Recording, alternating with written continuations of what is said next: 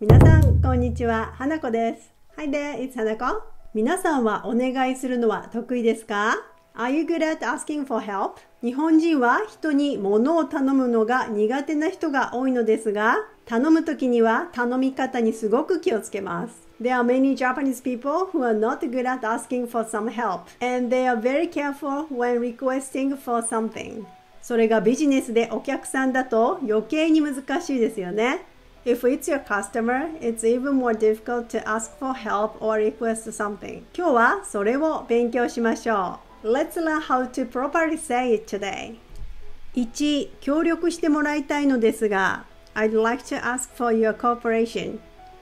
相手の協力を得て力を貸してほしいのですから、より丁寧な言葉でお願いすべきです。When you need some help, you should make your request using polite language.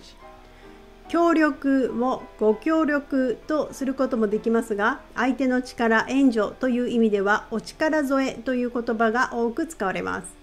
You could say ご協力 instead of 協力 though お力添え sounds much better 何卒お力添えいただきたいのですがその他に or you could say ご尽力賜りますようお願い申し上げますどうかお力をお貸しいただけませんでしょうか2ご確認してください Please confirm 相手に書類の間違いがないかどうか確認してもらいたいときにご確認してくださいという表現を聞くことがありますがこの間違いにも気をつけましょう When you'd like your customer to confirm whether there is a mistake in the document or not, we say ご確認ください Though please careful when you say this ご確認してのをごするは自分が話の謙譲語の形ですから相手の行為に使うのは間違いです。をごする of ご確認して is the humble language towards the speaker himself, so it's wrong to refer to the listener's actions.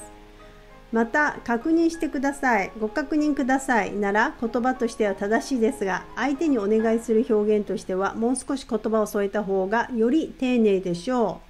Also, 確認してください or ご確認ください are grammatically correct, however, it's not good enough to be polite. その他、in addition, お手数、ご面倒をおかけして恐れ入りますが、ご確認くださいますようお願い申し上げます。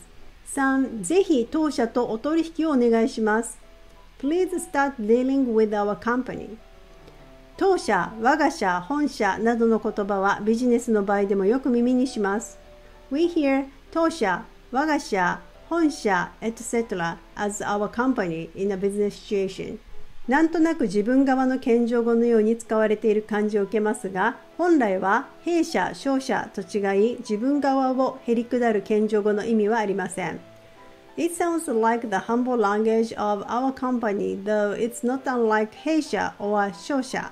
意味としては、当〇〇我が〇〇は自分の〇〇という意味。The meaning of と something or 我が something is my something. 本〇〇はこの〇〇というような意味で今話している問題にしているものというような意味で使われます。The meaning of 本 something or この something refers to the subject of the current topic. 我がことのように感じるといえば自分のことのように感じるという意味ですね。我がことのように感じる means it's like it is happened to me ですから間違いというものではありませんがより自分側を含めて謙譲語として表したいならば弊社、商社または私どもなどの言葉の方が適切です Therefore, it's not wrong to say that. However, if you want to use humble language, it should be 弊社、商社 or 私ども。ですから、正しい言い回しは So the correct phrases are ぜひとも弊社とお取引いただくようお願い申し上げます。お取引賜りたく何卒よろしくお願い申し上げます。お取引いただくことができましたら大変ありがたく存じます。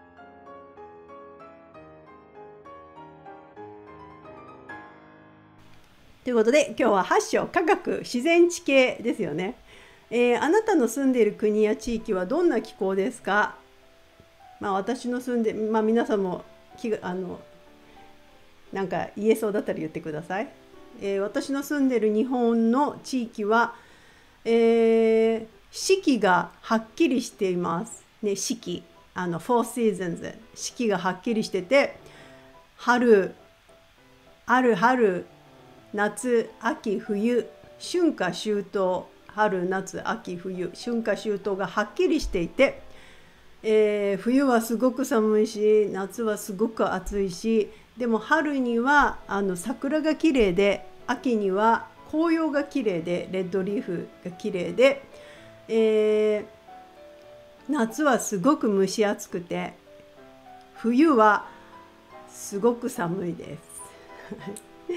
はい、皆さんはどういうふうに説明します？皆さんの、えー、国の気候ね。はい。集中豪雨土砂降りの雨が降る、まあ、集中豪雨とか土砂降りっていうのはまあ同じですけどすごいヘビーレインですよねすごいヘビーなレインで、えー、まあ、両方同じですね土砂降りって言ったらもうバーッと雨が降る。あの日本人も分かんないなと思って、えー、これは国土交通省気象庁、まあ、日本の何て言うんだろう、えー、ウェザーこれなんて書いてある？えー、ジャパンなんて書いてある？メトロポリティカルエージェンシーっていうの？気象庁、まあ、ウェザーのガバメントのデパートメント。であとな暴風雨。ね、暴風雨雨の強さに関する用語。暴風雨、えー、暴風に雨を伴うもの、ね、こうやっていろんな決まりがあるんですよね。えー、で豪雨。激しい著しい災害が発生した顕著な大雨現象。豪雨っていうのはなんかすごいね災害があったら言うんだね、えー、なんかなんていうの家が流されたとかね。ねなんとか豪雨に匹敵する大雨など著しい災害が発生し命名された大雨災害の名称かもしくは地域的に定着している災害の通称東海豪雨。えー、難しい、ね、こんな本当に調べ始めたら難しいよ。集中豪雨。同じような場所で数時間にわたり強く降り 100mm、えー、から数百ミリメートルの雨量をもたらす雨、ね、すごいですよね分類がね。こんなの覚えられないからここもあのー、細かい違いなんて説明できないですよこれね。局局地的え大雨。局地的大雨、え急に強く降り数十分の短時間に狭い範囲に 数十ミリメートルの程度の雨量をもたらす雨。局地局地的な大雨とも言う、えー、でゲリラ豪雨。ゲリラ豪雨ってもたまに言うんですよね。局地的大雨集中豪雨。これゲリラはじゃあ局地的と集中豪雨両方入るんだなっていうね。ゲリラ。ゲリラライブって言ったらえー、インフォメーションなしで突然ねあのライブ、えー、歌手がコンサートするのをゲリラライブとかね言いますけどね。はい、ということなのであんまり細かく考え始めたらキリがないのでまあこういう感じっていうことで。はい。